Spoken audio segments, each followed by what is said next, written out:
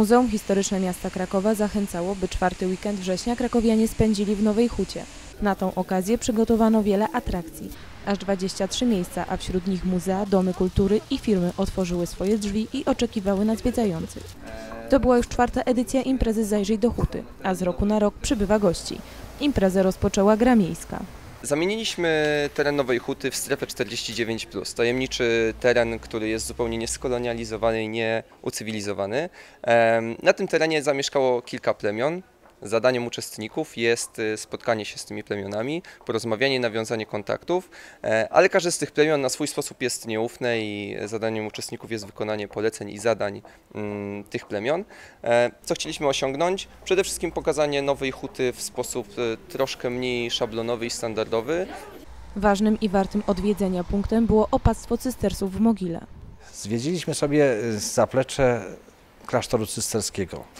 Znaczy nie samo świątynię, ale te wszystkie elementy, które są e, związane z cystersami, a zaczęliśmy nawet jeszcze wcześniej, bo od e, cieków wodnych, które tu istniały, od gospodarki wodnej, a skończywszy na zabudowaniach od XIII wieku, czyli od e, miejsca braci konwersów, aż po współczesne budynki, które pojawiły się na placu klasztornym. Samo południe przy Ośrodku Kultury imienia Cypriana Kamila Norwida metę miał bieg zorganizowany przez grupę biegaczy Nowa Huta Team.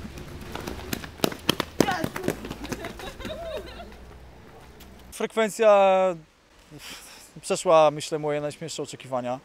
Bardzo fajna grupa ludzi, którzy, którzy bardzo lubią biegać, których widujemy na trasach różnych zawodów.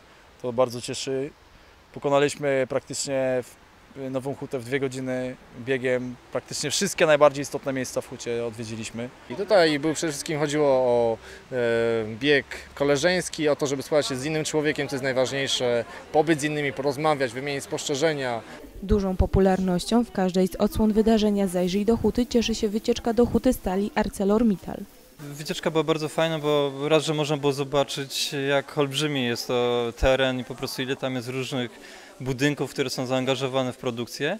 A druga kwestia, no to oczywiście najciekawszy element to nowa walcownia, Największe wrażenie zrobiło na mnie, zrobił na mnie moment, gdy e, wyjeżdżały te, to się nazywały slaby e, z tych pieców i to wyglądało jakbyśmy byli w jakimś piekle, naprawdę, bo to było takie czerwone, wyjeżdżało na tory, e, czerwone, rozżarzone fragmenty stali, to było chłodzone wodą, wobec tego wszystko parowało, no niesamowite, naprawdę, takie wrażenie jakby się było w piekle. Zajrzyj do Huty to także liczne spacery po dzielnicy. Jeden z nich to spacer wśród bloków. Spacer szlakiem modernizmu, oczywiście powojennego w Nowej Hucie, czyli budynków i osiedli wybudowanych po 1956 roku. Oczywiście zaczynamy pod naszym muzeum, żeby stąd dojść na pierwszy punkt do bloku szwedzkiego. Pierwszy neomodernistyczny, postmodernistyczny czy postneomodernistyczny, jak zwał, tak zwał, budynek w Nowej Hucie, wybudowany według projektu Janusza Ingardena, Leonardo da Vinci polskiego socrealizmu. Hutę zwiedzać można było niekoniecznie pieszo. Jerzy Kujawski opowiadał o zakątkach dzielnicy podczas rowerowej przejażdżki.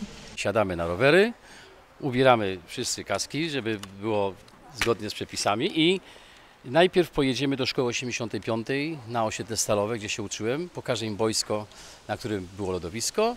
Szybciutko, bezpiecznie pojedziemy do Cystersów. Po drodze zaczepimy o taką fabrykę dawną Emausa, teraz tam jest, Emaus, gdzie y, y, chodziliśmy na wafelki.